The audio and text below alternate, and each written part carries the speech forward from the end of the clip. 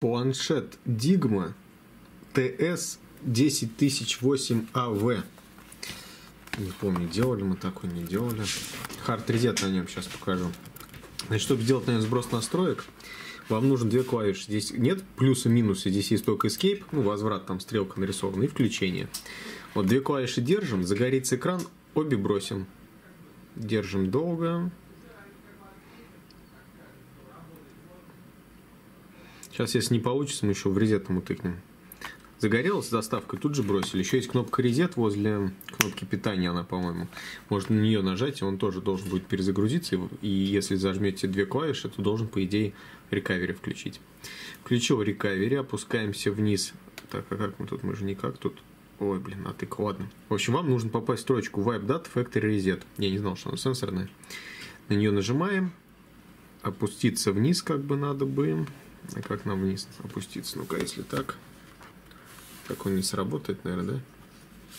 Короче, у нас вот эта строчка форматинг кэш, походу, съела кнопку Yes. Тут внизу есть строчка Yes All User Data. Вот ее нужно выбрать.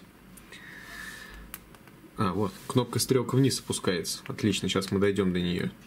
И нажимаем Yes All User Data. Ждем, пока будет сделан сброс. Все это делать нужно на заряженном планшете. Вот, а, не дай бог этот процесс прорвется, его можно окирпичить, но по-хорошему можно прошить. И в конце выбираем ему ребут системна, он пойдет перезагружаться. Немножко странно, тут рекавери, вход в рекавери и самой рекавери сенсорной, несмотря что Android здесь четвертый, куча здесь наворотов сенсорной, э, сенсорной рекавери далеко не везде есть, а то и вообще мало где есть. Вот. А, Все самое интересное и полезное по Дигме, по планшетам, по новым смартфонам в плейлисте Digma – все самое интересное, важное, полезное с канала в плейлисте полезный. Попасть можно с главной страницы моего канала.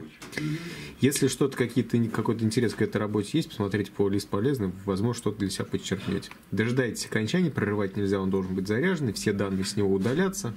Ну, про Android 5.1 не рассказываю, про FRP-блокировку. Если кому-то интересно, можете в плейлисте FRP Google посмотреть, что сейчас творится с Android 5.1 вот после таких сбросов и прошивок. Вступайте в нашу группу ВКонтакте, ставьте лайк под видео и подписывайтесь на канал.